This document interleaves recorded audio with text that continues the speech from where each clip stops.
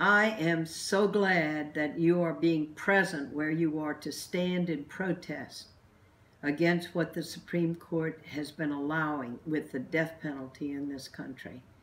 They're beginning to wake up to the fact that it's not constitutional because they've never been able to apply their own guidelines, as we see in Breyer's dissent in the Glossip case. But what you're doing by being there in your body, by being present in your body, that we have so much electronic stuff now where you just click on something. And you're there bodily to stand there and to stand there and perhaps some of you even will do civil disobedience and allow yourself to be arrested. I know my friend John Dear is there and plans to be one of those people.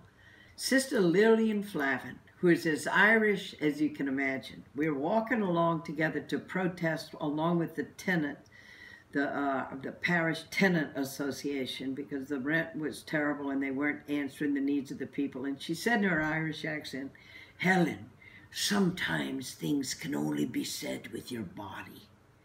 And so you're there to stand there and know that so many of us are with you there in spirit. Thank you for what you're doing.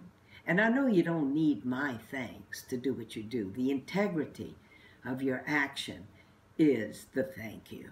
You don't need thanks from anyone else. So this is the fifth year of this demonstration, and we are beginning to see the light at the end of the tunnel.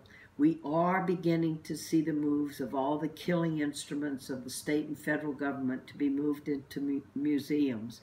And so your effort at this time gives us a momentum to keep going forward.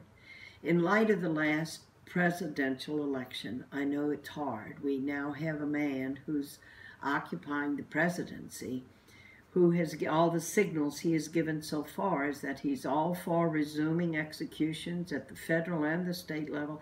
He's all for keeping Guantanamo uh, open and executing or, or trying people for terrorist crimes it's harsh. Uh, from what he's also said, he's all for the police being able to stop and frisk people on the streets at will. It's harsh. And that's what activates us to act more than ever. We can't have the luxury, even, of being down about it or just wanting to give up. Look at the suffering going on. How we cannot begin to have the luxury of saying, oh, I'm discouraged, so I'm not going to act anymore on this. We, now more than ever, we have to act. My good friend Bill Quigley, who's one of the greatest, one most wonderful civil rights attorneys in New Orleans, said, we were born for this day. And because we are the ones who are awake to the huge suffering and injustice of the death penalty, we need to be the ones standing present before the public and all the people to say this must stop. This is not truly who we are as an American people.